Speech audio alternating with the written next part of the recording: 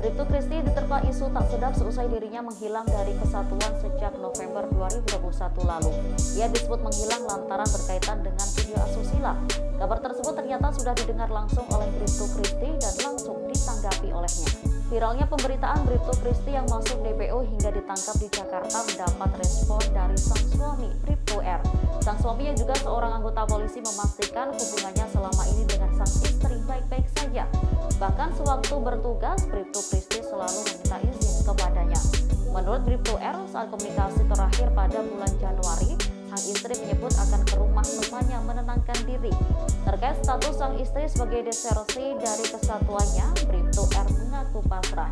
Ia siap mendukung semua proses hukum terhadap sang istri yang berlangsung di Polda Sulut. Bribtu R kemudian membantah jika sang istri diburu dan disangkut pautkan dengan video asusila yang viral beredar.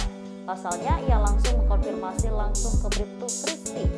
Menurut Bribtu Kristi, ia tak pernah tersandung masalah video asusila tersebut.